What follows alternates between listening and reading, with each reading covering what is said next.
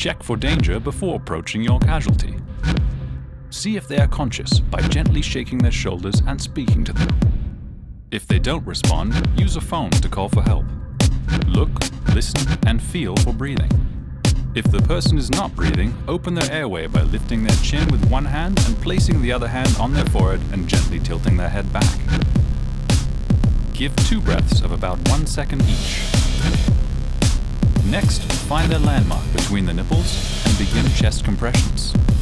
Compression should be one and a half to two inches deep at a rate of 100 per minute. After 30 compressions, give two breaths as before. Continue the cycles until the ambulance arrives or the victim shows signs of life.